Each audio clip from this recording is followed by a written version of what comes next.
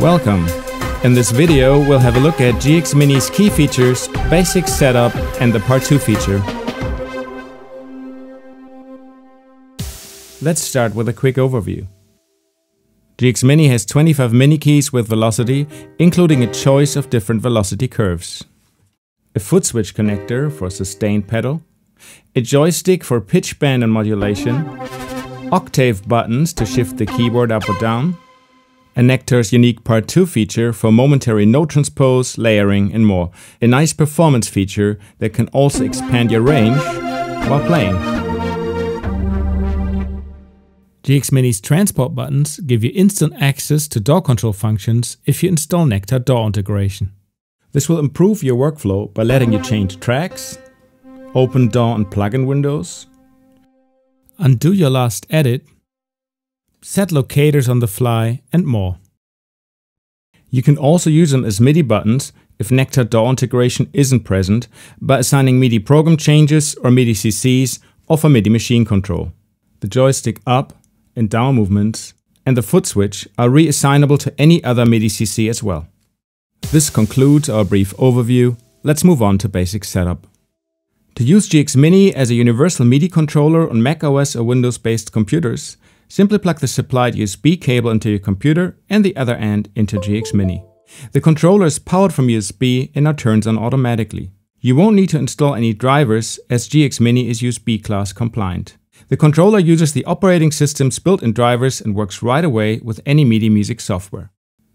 Now run your music software and check that the GX Mini MIDI ports are visible and active.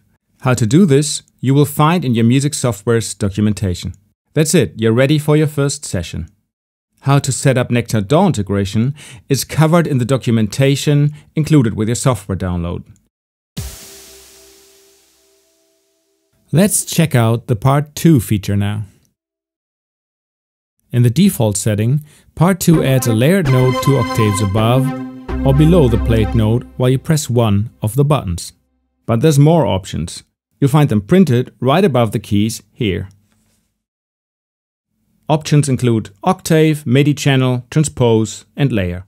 For example, if you'd like to use part 2 to just expand the playing range, you can deactivate layer by pressing setup and then the key labeled layer. As this is an on-off function, the change is immediate. Now let's add a transpose of 5 semitones by pressing setup, the key labeled with transpose, and then set the interval by pressing the black key labeled with 5. Now confirm with enter. The resulting shift is 2 octaves and 5 semitones. Let's bring back layer by switching it on again. I think this would sound better with just one octave shift. So I press setup, octave, press the black key labeled 1 and confirm with enter. Part 2 is really easy to set up and use. All of the options can be combined, so you could also switch to a different MIDI channel or even layer a sound playing on a different MIDI channel at the same time. If your DAW doesn't support Nektar DAW integration, you can still use the transport buttons to remote control it. First activate MIDI machine control in your DAW. How to do this will be covered in your DAW's manual.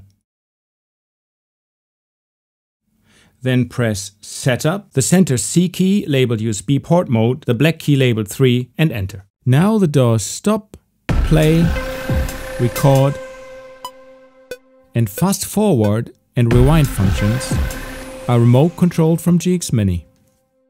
But if your DAW is supported by Nektar DAW integration, we suggest you install it as it will give you a lot more control over your software. Lastly, let me show you how to do a factory reset. This comes in handy if you've made a lot of settings in your GX Mini and it no longer works in the way you'd like it to. For this, simply unplug the GX Mini, hold the octave up and down buttons, and then plug the cable back in again while you keep holding the buttons. Now GX Mini is restored back to its original factory settings. We hope this video was helpful. Thanks for watching.